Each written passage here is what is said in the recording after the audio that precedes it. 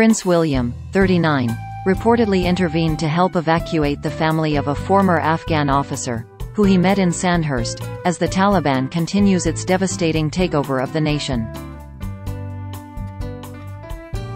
The Duke of Cambridge is said to have urged his equerry, naval officer Rob Dixon, to make some calls to the relevant personnel to help the family get through the gate and Kabul airport and board a flight to the UK.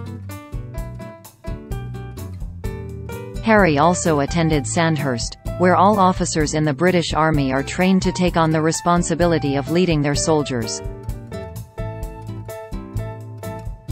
But it is not known whether he was able to help fellow members. The Duke of Sussex, who served two tours in Afghanistan, did issue a statement with his wife Meghan to military veterans about the nation last month.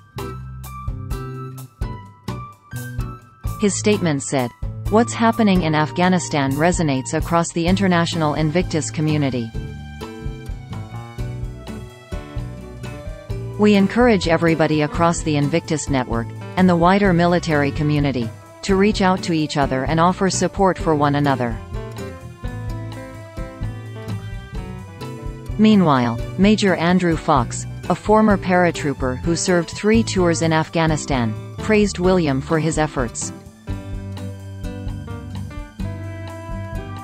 Mr. Fox, who has been helping interpreters flee Afghanistan, added he had been hearing many stories about officers on the ground helping people that they knew from Sandhurst. He told The Telegraph, I myself got two para to rush out into the crowd and grab someone for me. It's fully in line with what we get taught in the Army in terms of values, loyalty, respect for others, all that good stuff. We're trained to help where we can. The situation was so chaotic and was so, frankly, mismanaged, that people would do whatever they could to get out.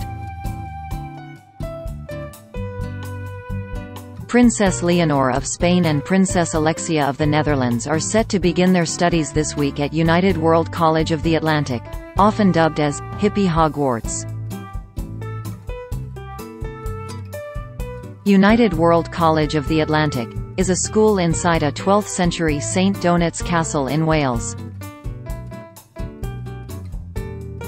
Princess Alexia of the Netherlands and Princess Leonor of Asturias waved goodbye to their respective families this week and set off to join the school this week.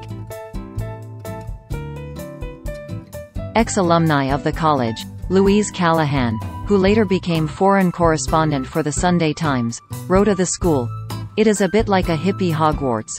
Full of oddballs who think they are fighting the forces of darkness. There are also ghosts. Lady Stradling haunts the History Tower, and the smell of lavender and a lilac mist precedes her apparition.